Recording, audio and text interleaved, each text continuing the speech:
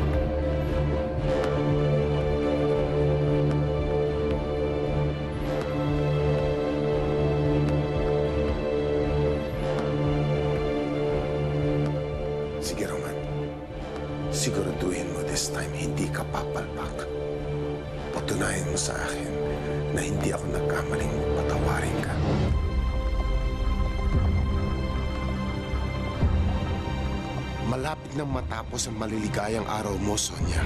My whole family will hate you to the core. I can't wait.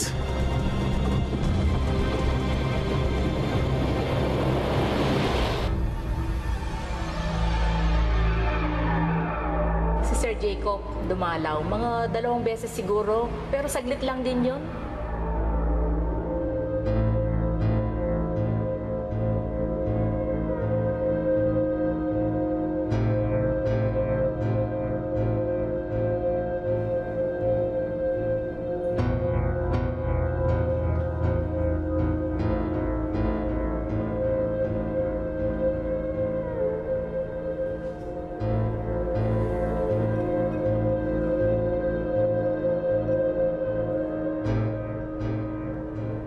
I will get to the bottom of this, Daddy.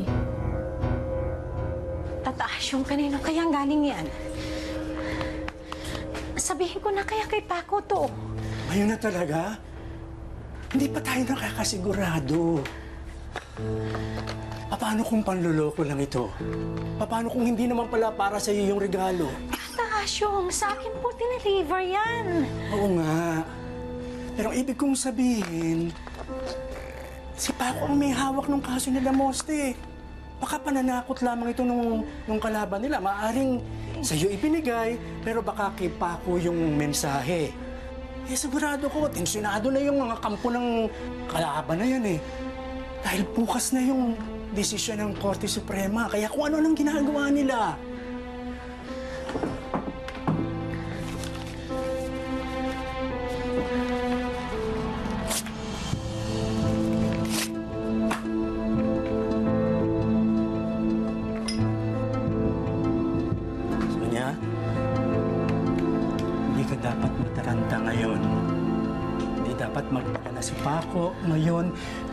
Abala siya sa paglabas ng desisyon bukas. Ha? Natasha. Sonia, tayong dalawa lang ang nakakaalam nung nangyari. Wala nang iba. Kaya kung para kay Paco yung mensahe, huwag nating hayaang magulo siya. Ha?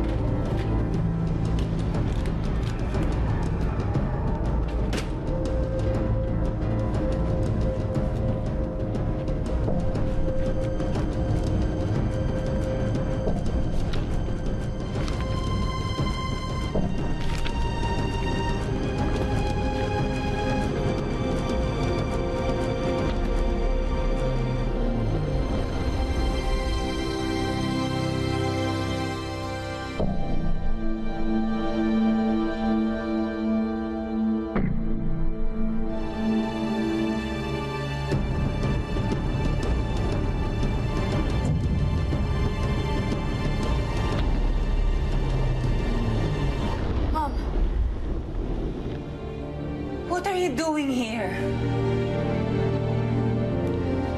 Mom, we have to talk.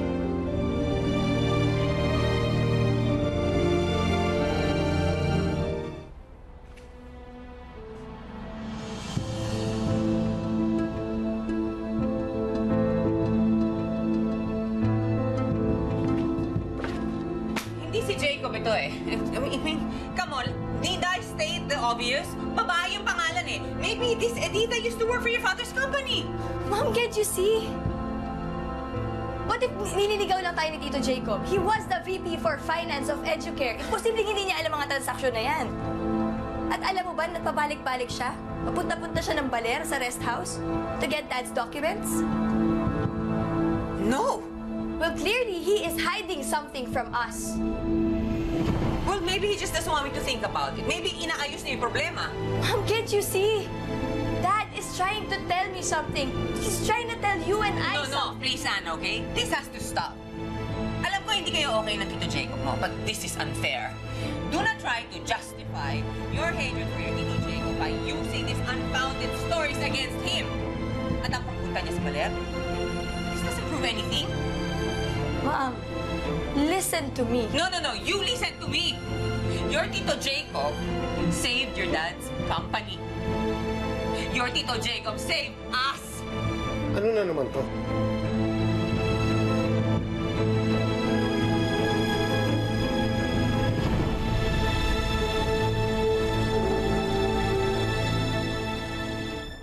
Meng, oh, Kuys, balapag nga oh. Ito naman, ilalapag na lang, iutos pa sa akin. Kasong, doon ka na po sa kwarto, si Onyo at saka si Doming na po dito. Onyo, saan mo gusto?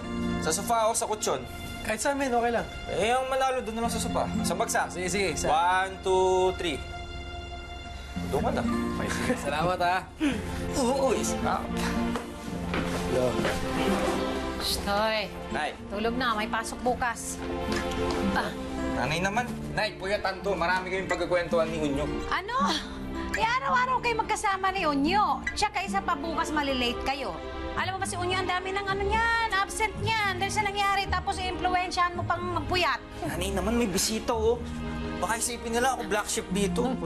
Meng, hindi ka naman black sheep. Kalabaw ka. Yung mga itsura mo, parang hindi ka pa naliligo. Talaga? Oh. Meng, mabantot yan. Ano ba, magsitigil na kayong dalawa. Ang kukulit niya. Ba- Tasyong, Unyo, pasensya nyo na yung mga anak ko ha. Ang kukulit talaga nito. Hindi yun. Sarap nga yung panoorin eh. Nasaya siguro magkaroon ng nanay sa mga kapatid.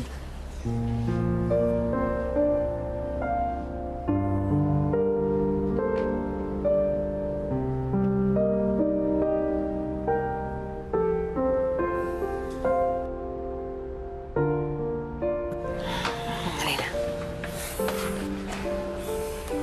Okay ka lang ba, Tatasyong? Oo. Oh, iniisip lang ako. Hindi ako intindihin.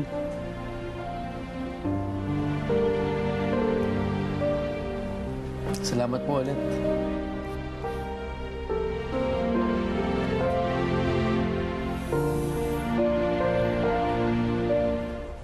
pa pala tapos ang accusations mo sa akin. Sandali, wait. Yan ba natututunan mo sa pagsama-sama kay Paco? Leave him out of this. Wala siyang kinalaman. And if you have any questions, ask me yourself. Ayan, go ahead. You wanted to ask questions? Go ahead and ask your Tito I Jacob will. question. Yeah, okay, I will. I found these documents. Records ng pag-dispile ko ng pera ng Educare. With a certain Editha Fuentebella gets the money. Do you know anything about this, Tito?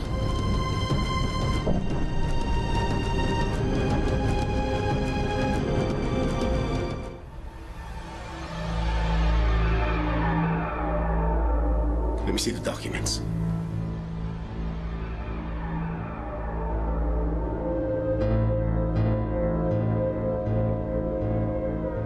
Let's see the documents.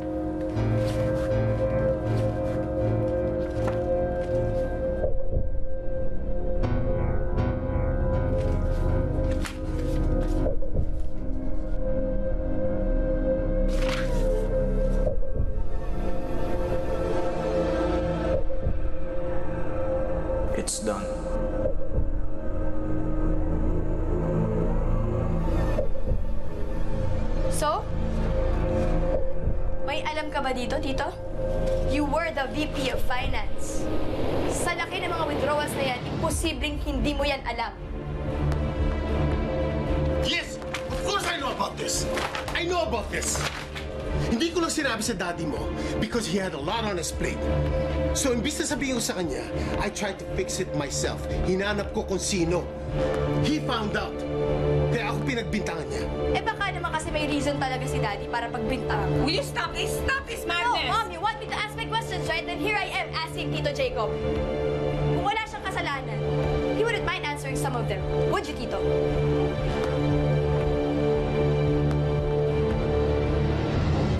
I'm, I'm really sorry. No, no, no! You ask me a question. You Okay, have my full I attention. will. I will ask you my questions. Nasaan si Editha Fuentepedya? Do you know her personally? Naparusahan ba siya sa lahat ng kasalanan na gawa niya? Nasaan ang pera? And where are the documents from Baler? Tama na, okay? Stop this. I will not allow you to talk to your tito like he was a criminal. Jacob, let's go. Let's go. I am very disappointed in you. Sandali lang. Dinadagdagan mo lang ang stress ng mami mo. Kung talagang gusto mo makita yung mga documents na kuha ko sa baler, bukas na bukas ang bibigay ko sa'yo. You know what? Maybe your Tito Jacob is right. Kung ganyan talaga ang impluensya sa'yo ng pako na yan, siguro pag-isipan mo ng mabuti kung makakabuti siya sa'yo. Jacob, let's go.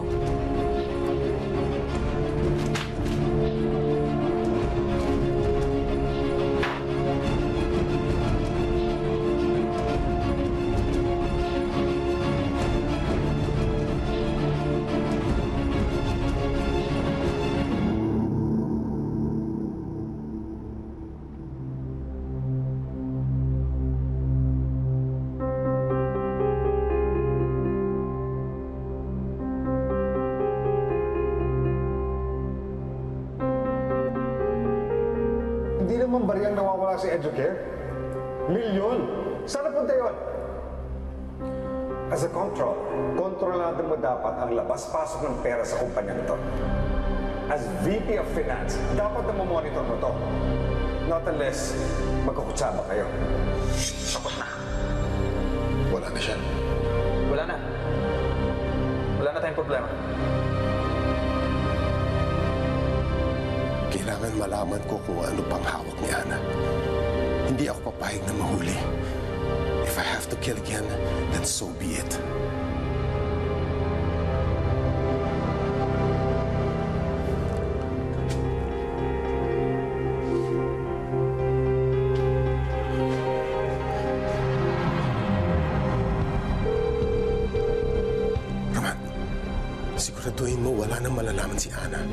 Tungkol sa Edita Fuentabelli account. Tumawag ka sa bank manager. Sabi mo posibleng magtanong-tanong si Ana dyan.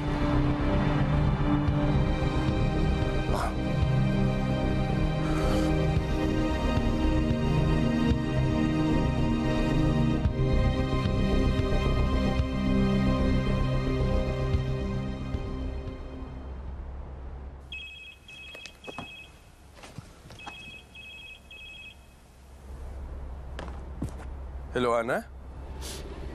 Ako, baka kailangan ko nakausap.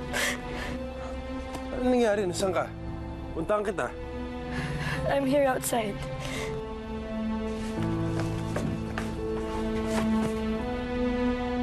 Sandali lang, bababa ako, bababa ako.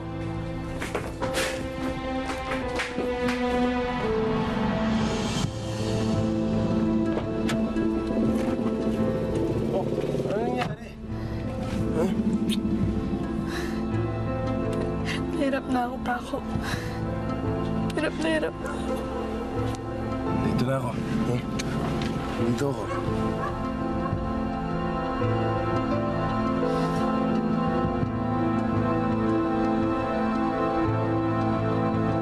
Ana, nandito na ako. How can I find the truth, Paco, if the truth will only cost my family? Alam na alam ko yung nararamdaman mo. Gusto mo ipaglaban yung tama kahit masaktan mo ang mahal mo. Paco, gusto kong ituloy yung ginagawa ko. But I don't wanna hurt my mom. Ayoko siyang i-drive away. I don't wanna drive her away from me. Ana, i- hindi ka naman matitiis na mami mo eh. Mararamdaman niya din na ginagawa mo tong lahat ng to para sa kanya. Pero hindi kami dapat nag-aaway pa ako. Lalo na ngayon na lalabas na yung verdict ng Supreme Court. Ayoko na masaya yung pagstay ko dito without finding Ana, anything. Ana, doon ka sa tingin mo mas makakabuti. Well, wherever the truth is, it will only set us all free. I hope so. At least I hope so. Huwag kang mag-alala, okay? Nandito ako. Mahal na mahal kita. Tayo ako nakikita ka nasasaktan.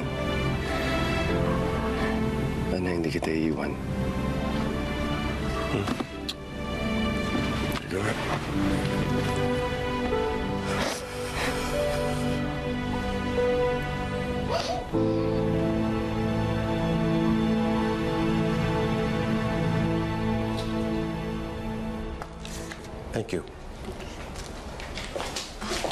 your service, sir? I need you to do something for me sa.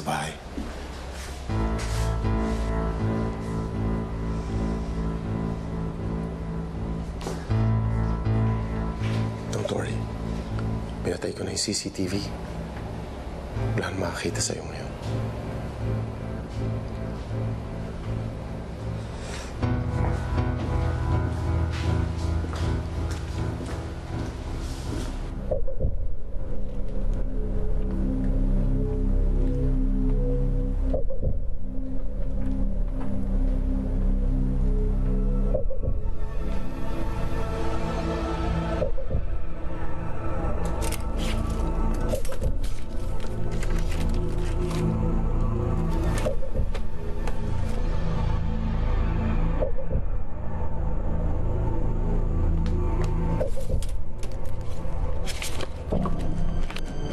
Kaya tinatago ni Annie ibang mga documents? Magpakita ka na please. Kailangan ka na ni Sir Jacob. Anong ginagawa mo dito? Stupid, stupid! Katrina, dapat nilak mo ang pinto. Good morning po. May pinapakuha lang pong sapatos sa akin si Ma'am Jean. Kwarto to ni Ana eh. At saka mga sapatos nandun sa shurak. I, I know. Kaya lang kasi ang gusto kasi ni Ma'am Jean yung suot daw ni Ana nung birthday niya. Um, sorry ah. Actually, ang sabi niya sa akin, tanungin daw po kita. Kaya lang, busy ka kanina eh. So, ako na lang. Para saan daw? Wants me to check the color. Kasi yun yung exact color na gusto niya para doon sa pinapadesign niyang sofa. Sa susunod ha, magtatanong ka muna. Para hindi yung pumapasok ka sa kwarto na may kwarto. Okay po. Sige po.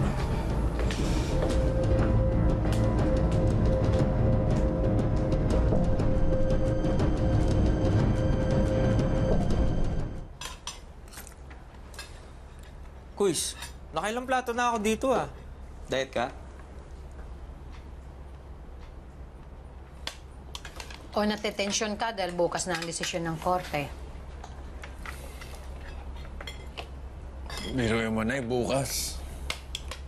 Pwedeng magbago yung takbo ng buhay ni Gabriel.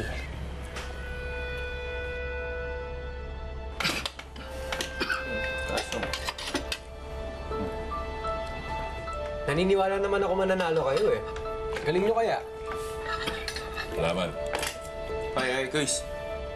Papogi ka bukas ha. Ayusin mo yung pananamit mo, baka ma-TV ka. Pako na, basta kung ano man yung magiging desisyon ng Korte Suprema, ang isipin mo, ginawa mo ang lahat para ipagtanggol si Gabriel. At doon, nak, proud na proud na ako sa'yo. Salamat, Nay. Nanay naman, sinasolo mo si Kuya eh. Proud din ako sa'yo, Kuys. Ako rin. Onyo, papatalo ka ba? Sabi mo kay Kuya, proud ka. Ay, oo naman, men. Matagal na matagal na. Kayo ah. Bola niyo ako, madedemanda ko kayo niyan.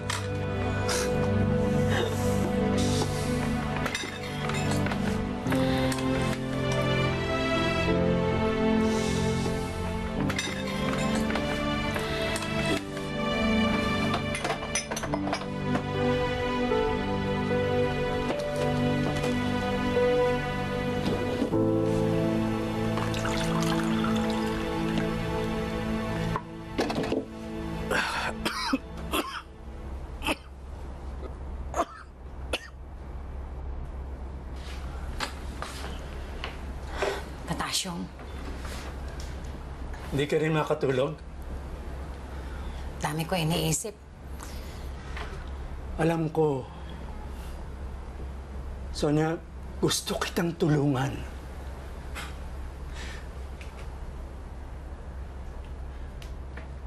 Nakita ko kung paano kayo magmahala ng mga anak mo. Ayokong masayang ang lahat ng sakripisyo mo. Hindi ako papayag na sumuko ka, Sonia.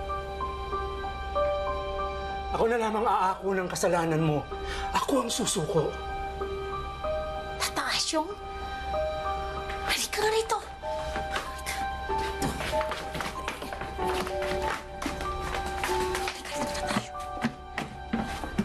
Tasyong, pakiulit na yung sinasabi mo. Sonia, hindi ako papayag na sumuko ka. Ako na lang aako ng kasalanan mo. Ako ang susuko. Hindi, hindi ako papayag. Ako ang susuko. Makinig ka mabuti. Unang-una, matanda na ako. Sakitin, nakulong na ako. Wala nang mawawala sa akin. Sa'yo marami pa. Ang mga anak mo. Tsaka mas marami kang matutulungang tao dito sa labas. Isa pa, ngayon lang nagsisimula si Paco. Kapag sumuko ka, hindi lamang ang trabaho ni Paco ang mawawasak, pati ng pagmamahala nila ni Ana. Oo, pero... Pero hindi tama. Sonya, maliban na isipin ko anong ikabubuti ng kapakanan ng lahat. Ha? Kapag ikaw nawala, malaki ang mawawala sa pamilya mo. Isa pa, di mo ba naiintindihan kung bakit ko ito ginagawa? Tulong mo rin ito sa akin. Panatag ako. Kung uuwi si Unyos sa pangangalaga mo. Tataas yung naiintindihan kita. Pero hindi ko mapapatawad yung sarili ko kapag meron na namang ibang taong sumalo sa kasalanan ko. Tataas yung ako ang bumalapit sa baril. Kaya dapat lang ako magbayad sa kasalanan ginawa ko.